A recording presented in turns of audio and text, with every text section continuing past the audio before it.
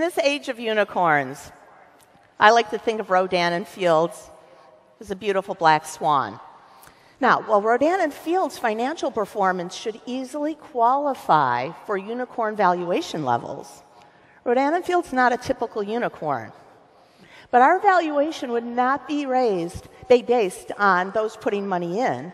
Rather, it's based on real marketplace value that together we've created. Real sales of real products that have transformed the skin of hundreds of thousands of loyal customers and real profits that have been shared with our impressive and growing network of consultants across the country and finally this year, Canada.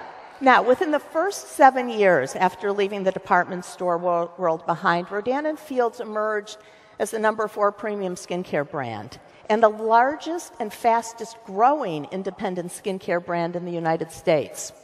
Today, as Rodan and Fields is one of the US's largest and most influential direct selling companies, we no longer even think of ourselves as a direct selling company. We've grown to transcend that definition. Through the creation of an e commerce platform, this allowed our brand and our products to take a hero position and allowed all transactions to occur electronically, which eliminated the need for any of you to carry inventory. But what we didn't fully appreciate at the time was the extent to which we were setting ourselves up to define a new way of doing business.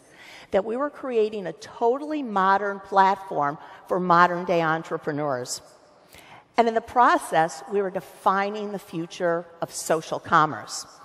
Here's the coolest part of all this disruptive approach to personal enterprise is generating market share that is actually much greater than our geographic penetration would suggest it should be.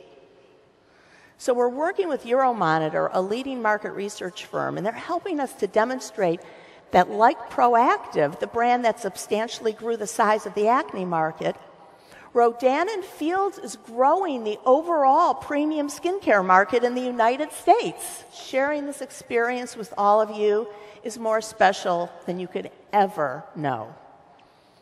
But rest assured that as we seize the day, we're constantly focused on your future. We're ever committed to being the spark that ignites vision and passion and helps millions to decide today how tomorrow looks. So here's to all of you, and as always, to great skin.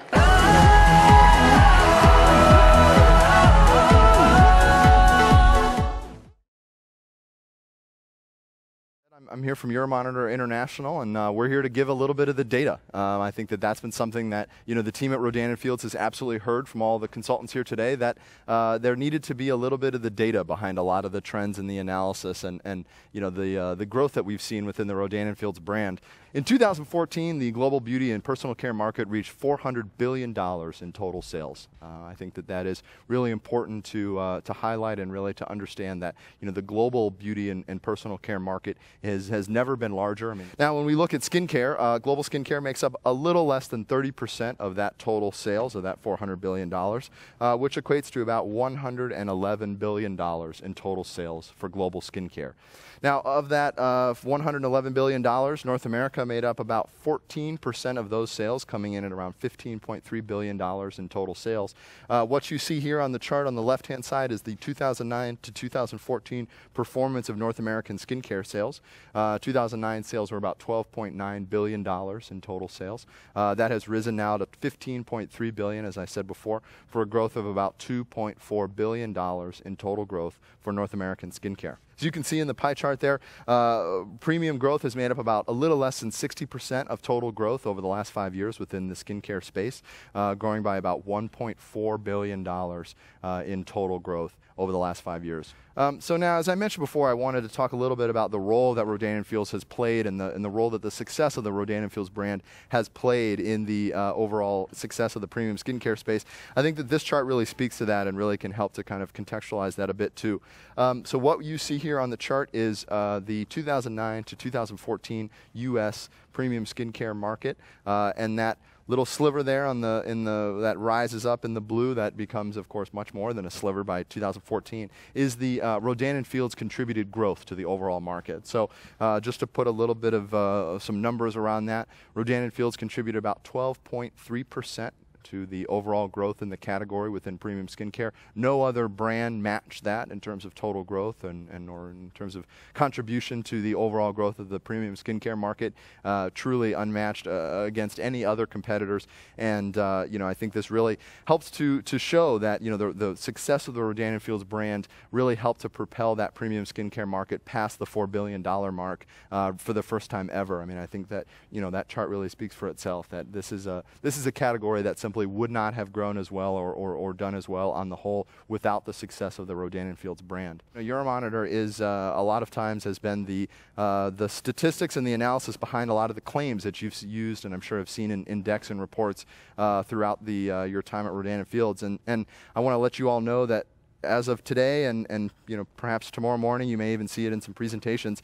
Uh, Euromonitor has uh, confirmed an additional claim here, and that would be the uh, that Rodan & Fields is the uh, among pre top premium skincare brands. Rodan & Fields is the fastest growing brand every year for the last six years uh, within that premium skincare space. Uh, on top of that, we've also recently certified that Rodan Fields is the number one premium acne care brand in the U.S. as well. Um, so you know, with all that said, I think it's important to, to provide a little bit of context context here, right? I, I, think that you know it's always good to, to I don't want to give off the impression that uh, this growth in premium skincare is a rising tide that lifts all ships, and, and that every brand has experienced the type of growth that the Rodan Fields brand has experienced. And so I wanted to uh, put some competitors up on the board and, and offer some comparisons. So um, we start with uh, Shiseido at 4.2 uh, percent. Uh, Estee Lauder at 4.6%. Uh, following that is Clinique at 5.4%, uh, you know, another sort of major uh, premium skincare brand in the United States and, and certainly one that has had some success at that 5.4%. Again, nothing to be ashamed of. Uh, we follow that up with Lancome at 6.5%. But, of course, no one really truly competes with Rodan & Fields at that 106.5% in terms of average yearly growth. Uh, so within the North America and of course the global opportunity for Rodan Fields is absolutely tremendous. Go get it.